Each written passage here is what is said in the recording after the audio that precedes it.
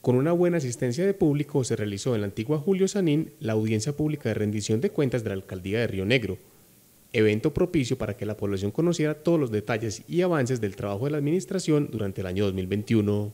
Bueno, yo quiero eh, decirles a ustedes que lo que hemos hecho hoy es una rendición de cuentas a los rionegreros, a los ciudadanos, lo hicimos bajo diferentes medios, con transmisión en vivo, en público, donde asistieron los eh, diferentes sectores poblacionales de Río Negro, los jóvenes, los niños, los adultos mayores, las juntas de acción comunal, las juntas administrativas locales.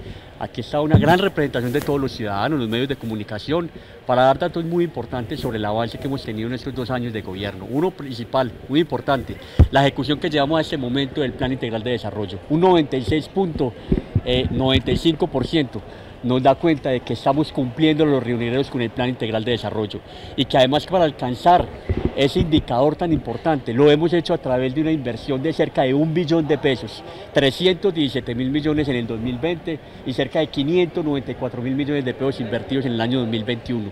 Acá, en este informe de rendición de cuentas, dimos cifras importantes en materia de educación, de deporte, de vivienda, de infraestructura vial, de materia de eh, medio ambiente, entre otros, que nos ayudan a decir que estamos cumpliendo los rionegreros. Rodrigo Hernández agradeció y destacó a todo su equipo de gobierno, que lo ha acompañado durante estos dos años. Si uno trabaja con alguien, tiene que saber como mínimo el nombre y apellido de cada uno de sus coequiperos, porque es la única forma de estar bien compenetrados con ellos para garantizar que los objetivos se cumplan.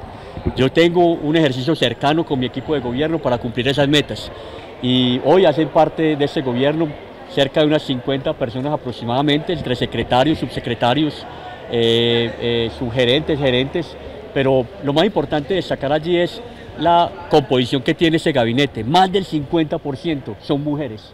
Más del 50% lo integran mujeres. Era algo que teníamos por cumplir desde nuestra campaña y lo cumplimos en el ejercicio del gobierno. El balance de gestión de más de dos horas se hizo en el marco del programa Juntos con el Alcalde, tradicional espacio de cada miércoles en la noche.